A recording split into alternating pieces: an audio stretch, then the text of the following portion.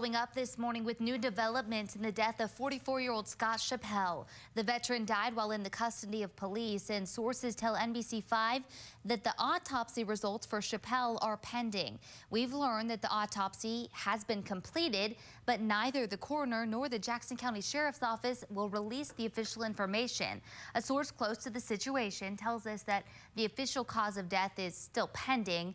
Family members of the 44-year-old say he was killed by Eagle Point police. Meanwhile, police say he died while being transported to the local hospital.